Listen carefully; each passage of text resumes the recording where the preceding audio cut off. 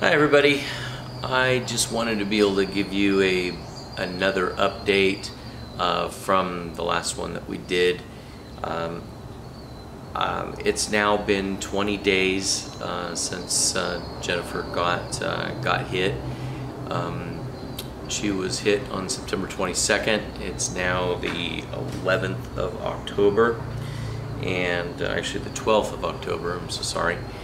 Anyway. Um, she is making progress, um, but she's uh, you know she's still not out of the woods in any way, shape, or form. Um, before I get into all of that, I want to thank all of you guys. Um, I, I, can't even begin to tell you uh, what what it means. Uh, you know, um, we uh, we're getting still to this day, you know, so many you know, prayer requests and people just texting and messaging and sending cards and letters. Um, you know, just hey, how's Jennifer doing? Let just to let you know that she's in our thoughts and our prayers. And it's not just here in the United States, locally here in the Sacramento area. It's from all over. And um, later on down the road, I've got a, a list of all the people that have donated. Um, you know, the, the GoFundMe has been doing doing pretty well. Um, and um, and then we've had people that just didn't want to do GoFundMe and they're just sending checks. And so um, we're going to be able to basically get the uh, majority of Jenny's expenses reduced. So um, you know, so her disability and that type of stuff will, will once we finally get it kicked in, um, that we'll be able to do something, you know, to be able to help her. Um, sorry for being a little tongue-tied. Um, yeah, we've learned a, we've learned a lot of things out of this whole thing. Um, we have not been able to get her unemployment set up um, because due to all of the scams that was going on in California, there um, everybody was just you know filling everybody's mailbox up and they were just getting they were getting benefits from everything. And so now what they require is that you file online you show them your driver's license and then at the very end you have to scan their face. Well Jennifer's not in a position to be able for her phone to be able to scan her face and be able to make any recognition about how she looks because of all the tubes and all the different things that she's had in her in her mouth and and um, you know just you name it it's just not. So we still haven't been able to get her um, not her unemployment but her disability uh, going.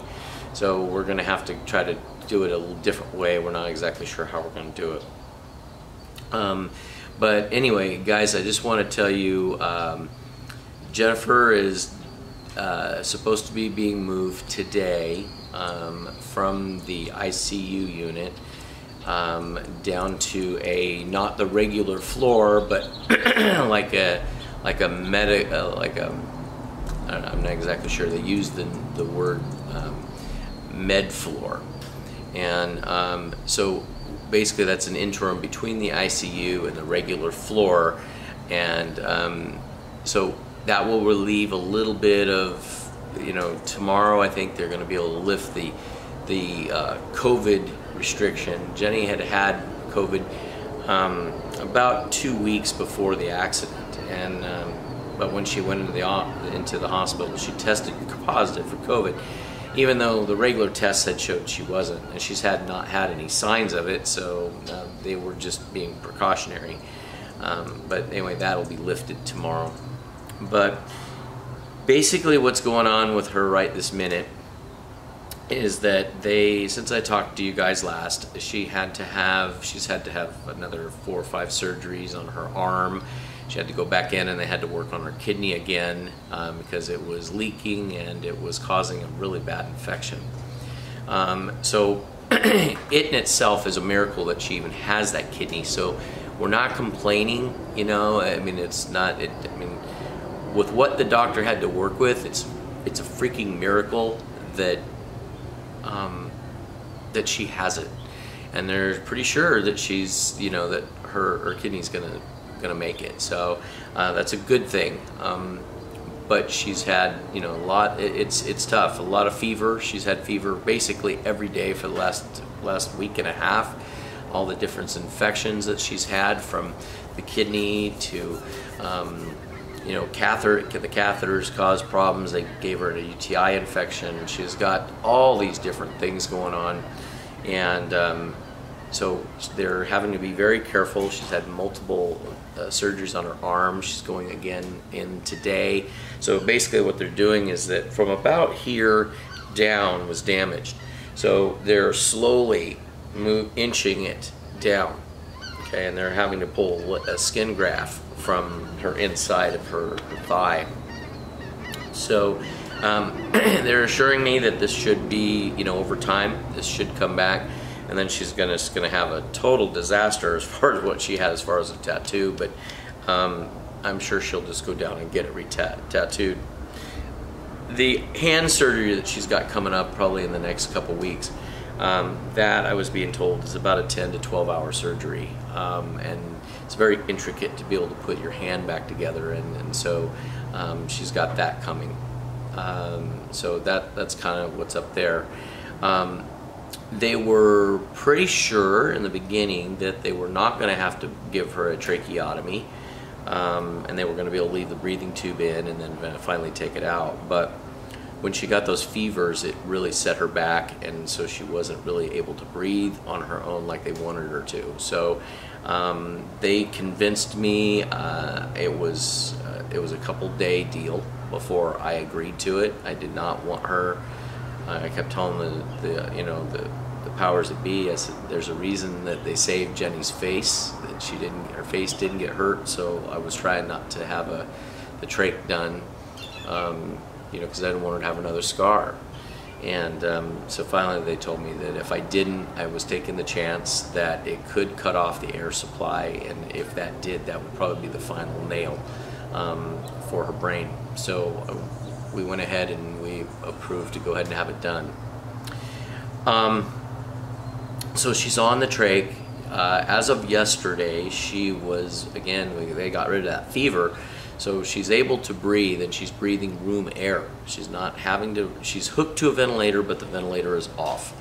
So um, the the thought is is that maybe in the next month or so they might be able to take her off of it, but they know they need it for the surgeries and that type of stuff. So um, that's that's kind of where we're at with that. And then um, we're we're just uh, you know we're just hopeful that you know, the, the amantadine that they're giving her um, has been starting to work. Um, as I think I told you before, she was not responsive. Her pupils didn't respond. Nothing responded. You know, every, get an occasional movement of her hands, but she is now. She's like indexing this these fingers. Um, she'll hold your hand, and we don't know if that's involuntary or if it's if she's really doing it yet. Um, same thing with all the other limbs. I mean, her arms move, her, her legs are moving, her toes, she's wiggling, all that type of stuff.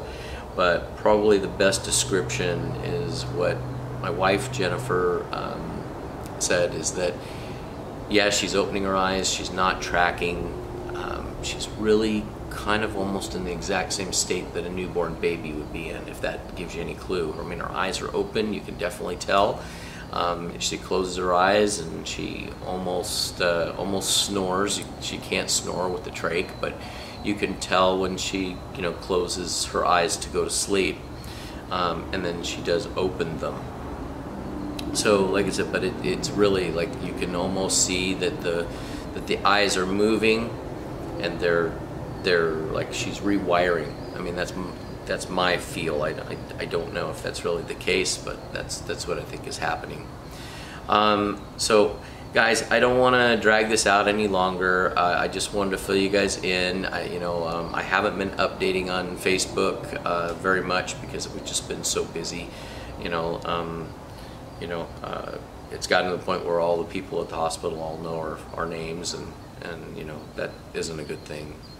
Uh, I have been looking into trying to figure out how to get some information um, out of the state about the um, about the intersections because, like I said, we're going to go after that and see if we can try to get that done We're also going to try to get on the on the news and see if we can possibly get some exposure uh, to maybe pay attention. Uh, Plumas Lake shows their the sign when you come into town. It says uh, it's 5,600 people. I can guarantee you without a doubt that just in the little small subdivision that I'm in over here is 5,600 people. So we have a lot of people in Plumas Lake, and these roads were not really designed for this. And so we got to figure out a way because we had another accident since I talked to you. Um, last time there was another accident in the same same spot um, this last Saturday. Uh, I don't know the specifics about it yet, but th this has got to stop. So um, again, if you guys happen to know anybody that works for Caltrans, um, I've had a few of you that reached out and gave me some information. They're doing some checking, but if, if you guys have anything, the more people that we have to go and make some awareness, get some people to, you know, to uh, wake up and, and help us, that'd be the greatest thing that could happen. So anyway, um, as you guys all know, uh, we did do a GoFundMe. Um, I'll put that information in the in the description box. Put it here on the screen, um, as well as I'll put my information. If you don't want to use GoFundMe, if you want to send something to Jennifer, whether it's a card, um, whether it's a you know um, you know a donation, um, you know just uh, just send it to this address, and and we'll we'll make sure that it gets handled. Um, so this is going to really help Jennifer and the kids uh, to be able to um, be able to keep on going.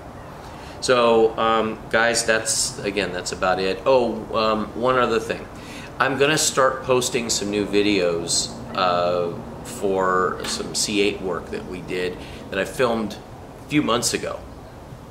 Um, and the videos, I had promised a few videos back that I was going to start releasing them, and then this happened to Jennifer. So anyway, when you see these, um, you'll know that these were filmed a couple months ago, and I just need to get them out for our sponsors um, because you know they they sent me this these products, and you know and um, they have been really good. Nobody's given me a bad time about it. I just feel guilty that the videos haven't come out.